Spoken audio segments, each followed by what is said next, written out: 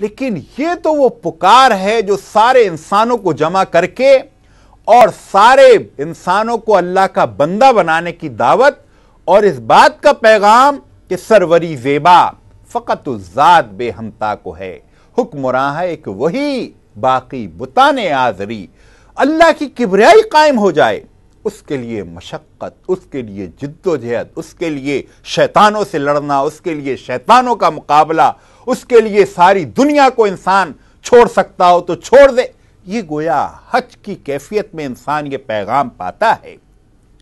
اور پھر ایسے پس منظر میں یہ حج آ رہا ہے جہاں پر بظاہر لگتا یہ ہے مسلمان تفرقے میں ہے ٹوٹ پھوٹ کا شکار ہے فرقہ بندی ہے کہیں اور کہیں ذاتیں ہیں۔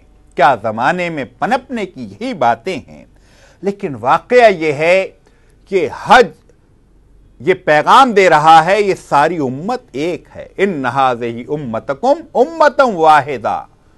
ساری دنیا کے لوگ، چاہے وہ امریکہ کے ہوں، چاہے وہ چین سے آئے، چاہے وہ جاپان سے آئے، چاہے وہ ایشیا سے آئے، چاہے وہ یورپ سے آئے، چاہے وہ عربی بولنے والے، چاہے اجمی ہوں، سب کے سب ایک لباس میں، ایک دن میں ساری دنیا سے جمع ہو کر گویا یہ تربیت پاتے ہیں کہ یہ ایک ہو سکتے ہیں۔ اور یہ صرف حج کے ہی دن ایک ہونے کی تو ٹریننگ ہے۔ یہ اگر شعوری طور پر چاہیں یہ اصلاً تو یہ ایک ہیں۔ اور یہ ٹریننگ ایسی ہے جب چاہیں یہ ایک ہو سکتے ہیں۔ یہ تو ایسے امام کے پیچھے خطبہ سنتے ہیں، نماز پڑھتے ہیں جس کو عموماً کوئی پہچانتا بھی نہیں۔ کل کلاں اگر ایسا وقت آئے کہ ایسا امام حج کرائے جس کو یہ جانتے بھی ہوں۔ ایسا خطبہ ہو رہا ہو کہ جس میں واقعی کو جان بھی ہو۔ ورنہ وہ جو علامہ اقبال نے کہا ہے ہے طواف و حج کا ہنگامہ اگر باقی تو کیا؟ کند ہو کر رہ گئی، مومن کی تیغ بے نیام۔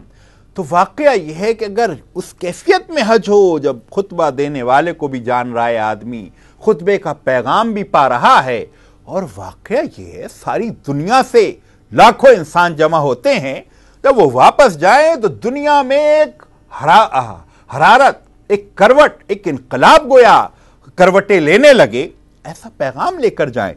تو اس پہلو سے ایک ہونے کی ٹریننگ تو ملتی ہے۔ ایک لباس سب پہن کر ایک ہی صف میں کھڑے ہو جاتے ہیں۔ اور اس پہلو سے یہ بڑا امید کا چراغ ہے، جو ہر سال حج کی شکل میں روشن ہوتا ہے۔ کہ امت ایک ہوتی ہے، یہ ایک ہو سکتی ہے۔ اور کل کلا وقت آیا تو یہ تو، ان کو تو ہر سال ایک ہونے کی ٹریننگ ملتی ہے۔ ہر رنگ سے بالا تر ہو کر، نسل سے بالا تر ہو کر، زبان سے بالا تر ہو کر۔ اور ایک ہی خانہ کعبہ کے گرد یہ سب طواف کر رہے ہوتے ہیں، ایک ہی میدان عرفات میں یہ سب جمع ہوتے ہیں۔ تو اس پہلو سے یہ حج ایک ہونے کی عظیم الشان ٹریننگ ہے۔ پھر اس حج میں قدم قدم پر حضرت ابراہیم علیہ السلام نظر آئیں گے۔ کون ابراہیم علیہ السلام؟ جن کے بارے میں اللہ تعالیٰ نے فرمایا، اس قال لہو رب اسلم، قال اسلم تو رب العالمین۔ جب بھی کبھی ان سے کہا گیا، ذرا مسلم ہو کر دکھاؤ۔ انہوں نے کہا، میں مسلم ہو گیا۔ اور اللہ تعالیٰ نے فرمایا، ان ابراہیم کان امتن قانتا للہ حنیفہ ولم یکو من المشرکین۔ کہ ابراہیم تو اپنی ذات میں خود ایک امت تھے اور ان کے بارے میں فرمایا وَآتَيْنَاهُ ہو فت دنیا حسنا ہم نے انہیں دنیا کی حسن عطا کی دنیا کی بھلائی۔ کیا حضرت ابراہیم علیہ السلام کو نظر آیا کو, کو نے پایا دنیا میں؟ واقعہ یہ حضرت ابراہیم علیہ السلام کی پوری زندگی اور حج میں قدم قدم پر شروع سے آخر تک حضرت ابراہیم علیہ السلام کا پیغام اور زندگی گویا ماڈل کے طور پر نظر آئے گی۔ اور اللہ تعالیٰ نے فرمایا تخذ میں مقام ابراہیم مسلح ابراہیم کے مقام کو نماز کی جگہ بنا لو۔ ابراہیم کا مقام ویسے کیا ہے؟ ابراہیم کا مقام نظر آئے گا، آدمی صحیح کرتا ہے۔ اور صحیح کیا ہے؟ صحیح اس واقعے کی یاد ہے، جب اللہ تعالیٰ نے حضرت ابراہیم علیہ السلام، جن کو بڑی عمر میں بچہ ہوا اولاد ہوئی۔ اور وہ بچے، دودھ پیتے بچے کو اللہ تعالیٰ نے فرمایا کہ اس بچے کو اور اس کی ماں کو وادن غیر زی ذرا، اس وادی میں چھوڑا ہو جہاں نہ گھاس ہے، نہ پھوس ہے، نہ ریگستان۔ اور حضرت ابراہیم علیہ السلام، ان کی تو شان یہ تھی، اس قال لہو رب اسلم، قال اسلم تو رب العالمین۔ جب بھی کبھی ان سے کہا گیا، ذرا مسلم ہو کر بتاؤ، انہوں نے کہا میں متی ہو گیا، فرم بردار، مسلم کا یہی مطلب ہے۔ حضرت ابراہیم علیہ السلام اپنی بیوی اور دودھ پیتے اکلوتے اتنی تمناؤں آرزوؤں کے بعد بچہ پیدا ہوا تھا، اس کو لے کر اس ویرانے میں چلے گئے۔ وہاں ماں کو اور بچے کو چھوڑا اور چل، چلنے واپس چلنے لگے۔ بچے کی ماں نے پوچھا کہ یہ ہم کہاں چھوڑ کے جا رہے ہیں؟ یہ جو تھوڑا سا کھانا پینا یہ تو کچھ وقت گزرے گا، ختم ہو جائے گا۔ یہ تو ریگستان ہے، نہ کھانا ہے، نہ پانی ہے۔ یہاں تو بلک بلک کر ہم گویا مر جائیں گے۔ اور حضرت ابراہیم علیہ السلام روایات میں آتا ہے کہ کوئی جواب زبان سے بن نہیں پڑ رہا تھا۔ یعنی ظاہر دل، اس میں تو بچے کی بھی محبت تھی، بیوی کی بھی محبت تھی۔ لیکن اطاعت وہ کرنی ہے جو اللہ تعالیٰ نے کہا ہے۔ بیوی اور بچے کو چھوڑا، رخ موڑا اور چل پڑے۔ اور حضرت حاجرہ مزید پیچھے آئیں کہ ہمیں یہ کہاں چھوڑے جا رہے ہیں؟ ایک مرتبہ، دو مرتبہ۔ اور پھر بلاخر حضرت حاجرہ نے ہی فرمایا کہ کیا اللہ تعالیٰ نے کہا ہے کہ ہمیں یہاں چھوڑ جائیں؟ اور حضرت ابراہیم علیہ السلام نے اس کے جواب میں وہ اپنا سر ہلا دیا کہ ہاں۔ اور پھر اس اللہ کی بندی نے کہا کہ اگر اللہ تعالیٰ نے کہا ہے، پھر اللہ تعالیٰ ہمیں چھوڑنے چھوڑے گا نہیں۔ ہوا مولا کم فن اقبل مولا ون اکمن نصیر وہ تو مولا ہے ہمارا، وہ سب سے بڑھ کر مددگار اور وہ سب سے بڑھ کر مدد کرنے والا ہے۔ اور پھر حضرت ابراہیم علیہ السلام چلے گئے اور تھوڑے ہی وقت گزرا، وہ کھانا بھی ختم ہو گیا، وہ پانی بھی ختم ہو گیا اور عرب کی تیز دھوپ میں، اس ریگستان میں بچہ بلاخر پیاس سے بلک رہا تھا، ایڑیاں رگڑ رہا تھا اور ماں کی ممتا اب تڑپ اٹھی اور اس نے دیکھا کہ ایک طرف پہاڑی نظر آتی ہے، دوڑ کے وہاں جاؤں اور دیکھوں پیچھے شاید کوئی نظر آئے، کوئی قافلہ آ گیا ہو، کوئی انسان، کوئی کھانا، کوئی پینا اس کے پاس ہو۔ پچاری دوڑتی ہوئی گئیں کوئی صفا پر چڑھیں اور وہاں جا کر اس پار پہاڑی کے دیکھا۔ لیکن ظاہر ہے کوئی ہوگا تو نظر آئے گا، کوئی نظر نہ آیا پھر پلٹ کر واپس بچے کے پاس آئیں اور بچہ رو رہا تھا۔ پھر انہیں نظر آیا، دوسری طرف مروا ہے۔ اس طرف، پھر پھر یہ سوچا شاید اس طرف کچھ ہو۔ پھر دوڑتی ہوئی گئیں اور پھر اس مروا کی پہاڑی کے دوسری طرف دیکھا کہ شاید کوئی نظر آ جائے، کوئی زندگی کی کوئی نشانی مل جائے، لیکن بالآخر ویسے ہی واپس آئیں، کوئی نہ ملا۔ پھر بچے کے بعد واپس آئیں۔ لیکن ماں کی ممتا تو تڑپ رہی تھی۔ پھر سوچا شاید اب کوئی آ گیا ہو۔ یہ جو انسانی فطرت ہے۔ پھر وہ صفا پر گئیں۔ اور پھر یہ عمل سات دفعہ انہوں نے کیا۔ صفا پہ اور پھر مروا پر اور پھر صفا پر اور پھر مروا پہ۔ لیکن ان قدموں کو اللہ تعالیٰ نے کیسا قیمتی جانا ہے؟ کیا مقام تھا ان کے قد، ان قدموں کا؟ یہ حضرت ابراہیم علیہ السلام کی بیوی ہیں کہ آج دنیا میں کسی کا عمرہ ہو نہیں سکتا جب تک کہ ان قدموں سے قدم ملا کر صحیح کی کوشش نہ کر لے۔ کسی کا حج ہو نہیں سکتا جب تک کہ وہ صحیح کے حوالے سے حضرت ابراہیم علیہ السلام کی بیوی کے قدموں پر چلنے کی کوشش نہ کرے اور یہ پیغام نہ پالے کہ اپنے رب کی خاطر عزیز ترین چیز قربان کرنے کرنے کو تیار ہوں اور اس کے لیے یہ ساری کیفیت گویا برداشت کرنے کو میں تیار ہوں۔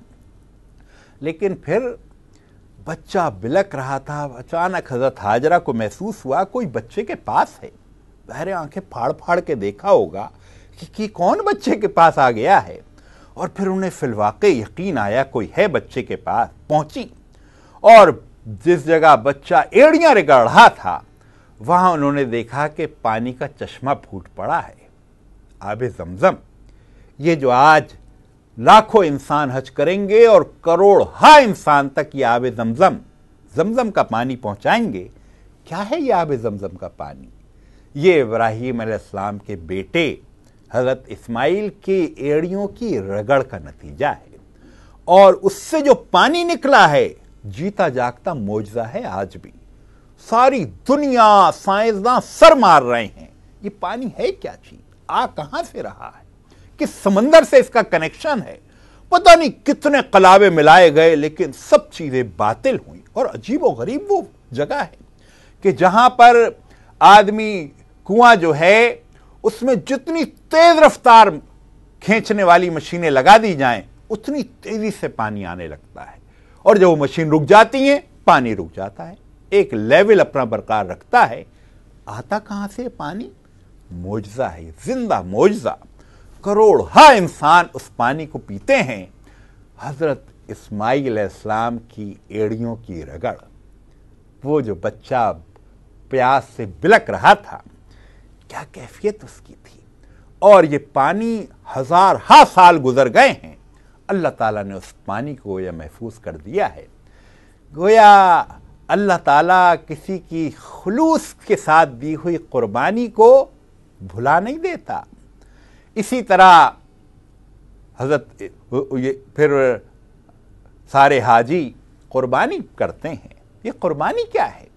یہ قربانی بھی حضرت ابراہیم علیہ السلام کی نشانی ہے۔ کہ حضرت ابراہیم علیہ السلام کو اس وقت جبکہ بچہ ذرا بڑا ہوا، کچھ کرنے کے قابل ہوا، جب ماں باپ کی امیدیں اس سے گویا بڑھ گئیں، تو اللہ تعالیٰ نے پھر خواب میں دکھایا کہ میں بچے کو قربان کر دو اور حضرت ابراہیم علیہ السلام نے اپنے بچے سے کہا کہ اللہ تعالیٰ یہ مجھے خواب میں دکھا رہا ہے۔ اور بچے نے کہا کہ ابا جان، جو کچھ آپ کو کہا جا رہا ہے، کر گزریے، انشاءاللہ آپ مجھے صبر کرنے والوں میں پائیں گے۔ اور حضرت ابراہیم علیہ السلام بچے کو لے کر چلے، اس کو لٹایا، اس کے منہ پر کپڑا ڈال دیا اور اپنی طرف سے انہوں نے لٹا کر چھری پھیر دی۔ لیکن پھر یہ اللہ تعالیٰ نے کیا کہ اس قربانی کو تو قبول کر لیا، اس بچے کو ہٹایا اور اس کی جگہ مینڈے کو لٹھا دیا۔ حضرت اسماعیل کی جگہ قربانی اس مینڈے کی ہو گئی۔ گویا اس راستے میں اللہ کی خاطر اپنے اولاد کو، ہر چیز کو، ان نسلاتی و نسکی و ماہیا و مماتی للہ رب العالمین یعنی میری نماز، میری قربانی، میری زندگی، میری موت، میرا سب کچھ اللہ رب العالمین کے لیے ہے۔ یہ گویا حضرت ابراہیم علیہ السلام ماڈل ہے وہ ابراہیم علیہ السلام جن کے بارے میں اللہ تعالیٰ نے فرمایا وَاتَّخَذُ اللَّهُ ابراہیم خلیلہ ابراہیم علیہ السلام کو تو ہم نے اپنا دوست بنا لیا ہے۔ تو اس پہلو سے یہ وہ حج ہے اور واقعہ یہ ہے کہ حضرت ابراہیم علیہ السلام آج دنیا میں متفق علیہ پیغمبر ہیں۔ کیا قربانی ہے ان کی؟ لیکن اس سب کے باوجود دنیا میں بڑی چکا چوند کر دینے والی دنیا ہے، لیکن ابراہیم علیہ السلام اپنی جگہ موجود ہیں۔ اس کے ساتھ ساتھ یہ بھی میں عرض کروں کہ لوگ کہتے تھے، انسانیت ترقی کر رہی ہے سورج چاند پر انسان کمندے ڈال رہا ہے، ایسے میں دین فطرت اسلام، سرکار دو عالم صلی اللہ علیہ وسلم، قربانیوں کا دوسرا ماڈل، یہ ان کی داستان گم ہو جائے گی، ہوا میں مل جائے گی اور تاریخ کی صدیوں میں گم ہو جائے گی۔ لیکن آج آپ دیکھیں، حضور اکرم صلی اللہ علیہ وسلم کا بھی تذکرہ ورفانا لکا ذکر بڑھتا ہی چلا جا رہا ہے۔ یہ جو اللہ کی خاطر قربانیاں، اللہ کی خاطر جو زندگی گزاری جائے، اس میں واقعہ یہ ہے، سکون بھی ہے، چین بھی ہے، اطمینان بھی ہے۔ اور پھر دنیا میں بلاخر وہی نام ہے جو باقی رہ جانے والا ہے۔ باقی سب چیزوں کو گویا فنا ہے۔ اللہ تعالیٰ سے میری دعا ہے، اس سال جو لوگ حج پہ گئے ہیں، اللہ تعالیٰ ان کے حج کو قبول فرمائے۔